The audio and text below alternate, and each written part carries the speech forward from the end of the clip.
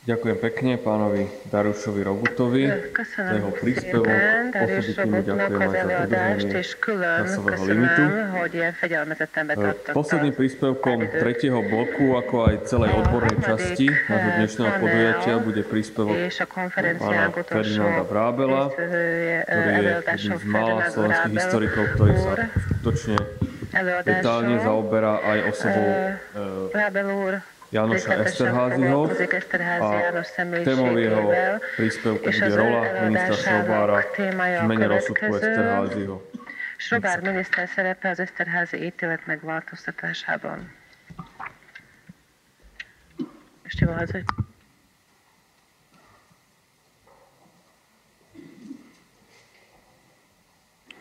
Vážené dámy, vážení páni, skôr než prikročím k svojmu referátu, by som sa chcel poďakovať organizátorom tejto veľmi potrebnej konferencie za pozvanie a za to, že môžem tu vystúpiť a povedať vám niekoľko vied o výsledkoch môjho bádania a dúfam, že aj doplniť mozaiku o Jánošovi Esterházim, o niekoľko nových kamienkov.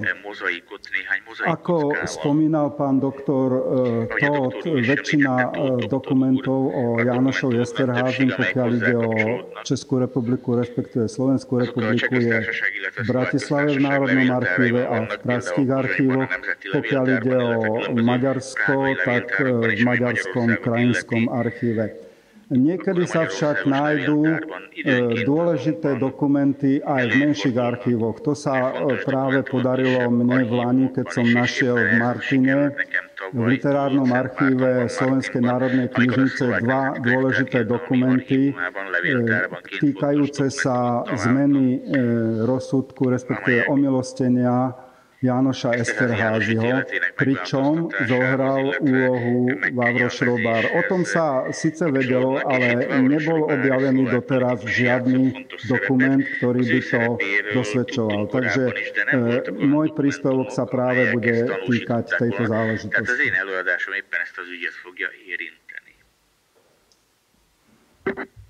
Keby sme v slovensko-maďarskom historickom diskurze hľadali e, dve také rozdielne, rozporuplné osobnosti, ako bol Vavroš Robár a Janoš Esterházy, asi len ťažko by sme našli takúto, takúto dvojicu, ktorá sa veľmi od seba líšila. Žili spolu e, postupne v štyroch rôznych štátoch. A vždy sa ocitli na druhej strane barikády. És mindig a barikád ellentétes oldalain találkoztak egymással.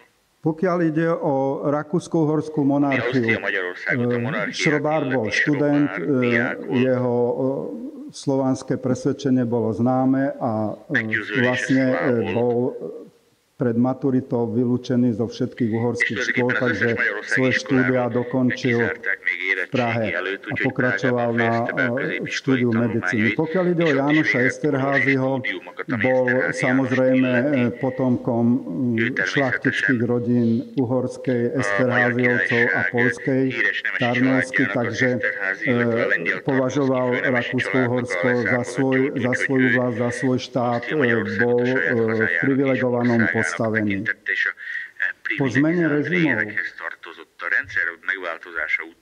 keď vznikla Československá republika, ktorá bola výsledkom jednak prvej svetovej vojny a jednak takých mimoriadných udalostí. Na jednej strane to bola porážka Nemecka a Rakúsko-Horská, ďalej rozvrat v Rusku a zároveň aj spolupôsobenie myšlienok o národnom samourčení eh, prezidenta Wilsona, ako aj vplyv eh, národno-oslobodovacieho boja jednak doma a jednak v zahraničí Čechova Slovákov zase sa ocitli e, na opačných stranách. Jánoš Esterházy stratil svoje privilegované postavenie, naopak do popredia sa dostal Vavro Šrobár, ktorý sa významne zaslúžil o vznik Československej republiky a v prvých rokoch zohral aj významnú politickú úlohu.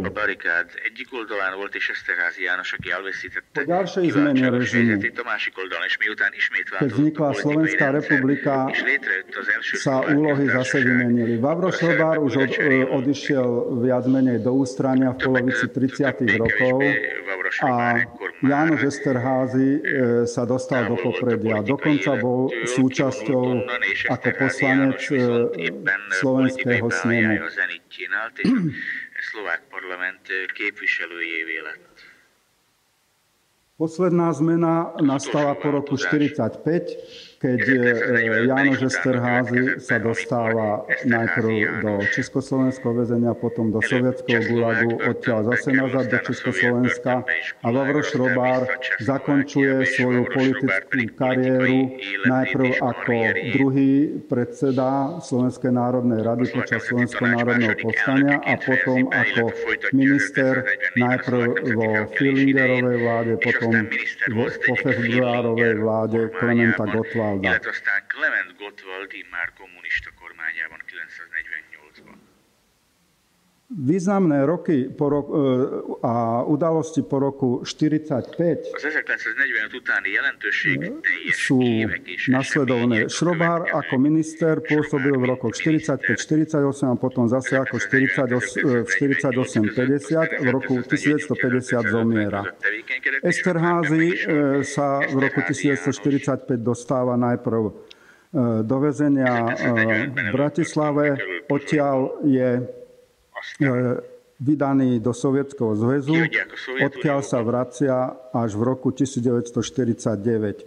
O motíve e, jeho návratu budem hovoriť ešte ďalej. V roku 1950 e, dostáva rodina e, Esterházyho doklad o tom, že mu bol zmenený trest smrti na doživotné väzenie a Jánoš Esterházy zomiera v roku 1957. Zaujímavým detailom je, že pomníky týchto osobností sú dosť podobné, keď sa na ne pozriete na tú siluetu. Šrobár je pochovaný na Ondrejskom cintoríne, Esterházyho pomník vpravo dole je symbolický pomník z Mírovskej väznice.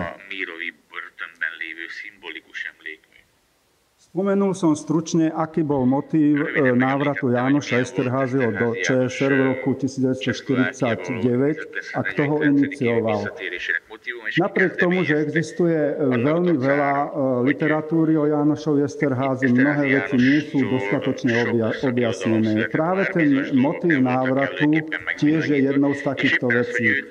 Niektorí historici tvrdia, že Československo ho dalo dopraviť zo Sovjetského zväzu preto, aby ho popravilo. Iné doklady sú, že Luisa Esterházy iniciovala kroky československých orgánov, pretože si myslela, že keď sa vráti Esterházy do Československa, bude e, v lepších podmienkach a že sa podarí dosiahnuť e, revíziu jeho procesu. Zaujímavý doklad o tom, ako sa Esterházy dostal e, do Československa, podáva jeho bývalý kolega zo slovenského snemu, slovenský kňaz e, Karol Körper z Rínsky. E, nemám často tu všetko povedať, ale podstata je tá, že sa tak stalo na zákrok samotného Stalina, ktorého o to požiadal Arpad Sakašič. Neviem, či maďarskí kolegovia majú o tom nejaké, nejaké doklady. Ja som sa zatiaľ s tým stretol len v týchto pamätiach. Údajne Esterházy Sakašiča skrýval vo svojom dome v Budapešti v časoch bieleho teroru po porážke Bélu Kuna. No a Esterházyho rodina sa na Sakašiča obrátila s tým, aby intervenoval. On to aj urobil a tak Stalin e, zabezpečil alebo dal príkaz, aby Esterházyho vrátili do Československa. Takže to je jedna, jedna z ďalších teórií, ktorú zrejme bude treba ešte potvrdiť. Povedal som vám už základné e, rozdiely alebo tie kontroverzné e, momenty zo života Šrobára a Esterházyho. Ich osudy sa vlastne nakrátko len pretli v roku 1949, keď Esterházyho rodina, po tom, čo sa dozvedela, že Esterházy je už v Bratislave, požiadala ministra Šrobára o, o pomoc vo veci jeho omilostenia. Šrobár to aj urobil. To je popísané jednak v pamätiach e, e, Luizy Esterházy, ktorá vlastne to má z druhej ruky od svojej sestry Marišky, ktorá vlastne Šrobára e, spolu s rodinným priateľom Emilom Prizenderom vtedy navštívila a ktorí sa aj stretli so Šrobárom. Spomína sa, že bolo to pre, e, pre nich e, ten priaznivý zásah Šrobára v prospech Esterházyho veľkým prekvapením, lebo Šrobár žil v podvedomí maďarskej menšiny v Československu a na Slovensku ako nepriateľ Maďarov. Dokonca aj niektorí historici ho označujú za Maďarožrúta, Maďar Falov Šrobár, ako spomínajú. Takže e, Šrobár niečo urobil e, v prospekt Esterházyho a to maďarskú stranu veľmi teda prekvapilo.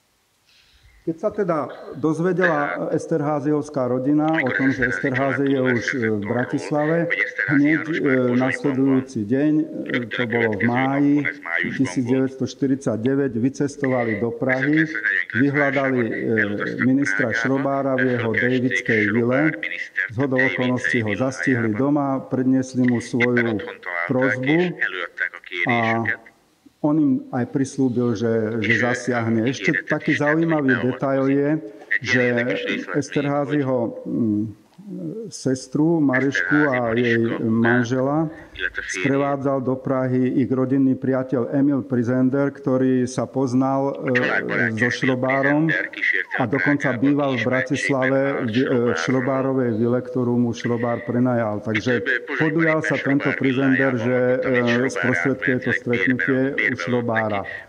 Začal rozprávať po maďarsky, a vlastne po slovensky a nevedel veľmi dobre po slovensky, lebo mal maďarskú národnosť.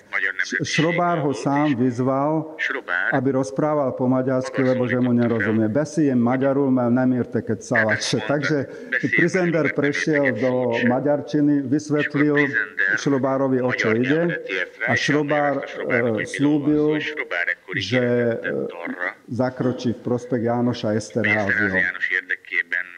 V podvečerných hodinách Esterháziovci bývali v hoteli v Prahe, dostali telefonát do hotelu priamo od Šrobára, že zobral telefón Prizender a povedal potom Mariške Esterházi, že minister sa vyjadril, že môžeme spokojne odcestovať domov, rodinu nestihne žiadna hamba, dostal milosť alebo dostane, dostane milosť. Zaujímavé je, že toto sa odohralo v máji 1949. Ale ako vidíte tu na tom dokumente, ktorý pripravil vtedajší minister spravodlivosti Československý Alexej Čepička, ktorý bol nielen ministrom spravodlivosti, ale aj zaťom prezidenta Gotwalda, ten dokument bol spracovaný písomne až 24. marca a prezident Gottwald ho podpísal 7. apríla 1950. Čiže medzi, medzi tou intervenciou Šrobára a tým dokumentom je 10 mesiacov. A e, Esterháziovská rodina zrejme verila na slovo tomu Šrobárovi, pretože som spomínal tie, tie dva listy, ktoré som objavil. Už v júni 1949 e, dostali, e, dostal Šrobár do Trenčianských teplíc list od matky Jánoša Esterházyho, Elžbiety Tarnovský Esterházy a ten istý deň aj list od Luizy Esterházy, v ktorom mu ďakujú za, e, za zákrok. Ale ešte predtým by som si dovolil citovať z toho dokumentu návrhu na omilostenie. Minister síce konštatuje, alebo charakterizuje Esterházyho ako predstaviteľa maďarskej feudálno-kapitalistickej reakcie, čo bola vtedy dobová terminológia, ako vodcu maďarskej menšiny na území ČSR a zavilého nepriateľa Československej republiky, ktorý význačnou mierou prispel k rozbitiu Československa v roku 1939. Všimnite si, že nie je tam žiadne obvinenie, že by bol agentom alebo že by bol vojnovým zločincom. Ďalej sa uvádza, prečo sa navrhuje jeho omilostenie. Bol odsúdený v neprítomnosti a nemohol sa hájiť. Odsúdený pomáhal osobám perzekvovaným z rasových dôvodov. Trpí ťažkou plúcnou nemocou, takže je v nemocničnom ošetrovaní a od vynesenia rozsudku uplynuli už viac ako dva roky. Preto sa navrhuje zmena trestu, aj keď niektoré nižšie inštancie, od ktorých si ministerstvo vyžiadalo stanovisko, to neodporúčali. Napríklad ONV Nitra žiadosť menovaného o milosť neodporúčil. Zmenu trestu naopak odporúčal okresný súd v Bratislave, Najvyšší súd a aj povereník spravodlivosti. Minister Čepička teda predložil, ako som už spomínal, návrh 24. marca a prezident ho podpísal 7. apríla. Március 7-én benyújtotta Gotwald elnöknek aláírásra ezt a megkegyelmezési javaslatot, amit Gotwald április 7-én Pri výskume v literárnom archíve Slovenskej národnej knižnice v Martine v Lani v auguste sa mi dostala náhodou, to sa často stáva, kolegovia to poznajú, že niečo v archíve hľadáme, nenájdeme to a nájdeme niečo iné. Originály spomenutých listov. Zaujímavé je, že adresovali e, obidve dámy e, listy nie do Prahy, kde teda minister sa obvykle zdržiaval, ale zrejme preto, že predpokladali, že už nastáva letná sezóna a bude šrobár v Trenčianských tepliciach na svojom letnom sídle, tak to adresovali do trenčianských teplíc. Nemám čas prečítať vám tie listy. V podstate ide o to, že vyjadrujú obidve dámy e, svoje poďakovanie s tým, že to bolo prekvapujúce, že to ani nečakali a prajú všetko dobré, modlia sa za Šrobára aj za jeho rodinu, prajú všetko dobré a tak ďalej. Takže e, týmito dvoma e, novými dokumentmi sa osvetľuje e, funkcia alebo úloha šrobára pri, pri omilostení Esterházyho, aj keď zatiaľ v materiáloch vlády sa mi nepodarilo nájsť žiadny dokument, lebo Esterháziová Luisa spomína vo svojich pamätiach dokonca aj slova, neviem, kto je to mohol e, povedať, e, čo povedal e, Šrobár na zasadaní vlády, keď požadoval zmenu toho rozsudku. Uviedol niečo v takom zmysle, že by sa mala prejaviť nejaká milosrdnosť a že Esterházy je v podstate nevinný a že keby bol popravený podľa pôvodného rozsudku, že by to bola vražda. Toto píše Luisa Esterházy voľne, keď to reprodukujem vo svojich pamätiach. Takže niekto jej musel zrejme referovať e, o tom, že čo sa hovorilo na vláde, ale ako som spomínal, zatiaľ takýto dokument ani som nevidel uverejnený, ani som, e, už som ho hľadal, ale zatiaľ sa mi ho nepodarilo v pražských archívoch nájsť. Dúfam, že e, sa to raz aj podarí. Podrobnejšie už nemám čas e, to vysvetľovať alebo rozvádzať. Bude referát, predpokladám, uverejnený v zborníku, kde budú aj tieto dokumenty uverejnené.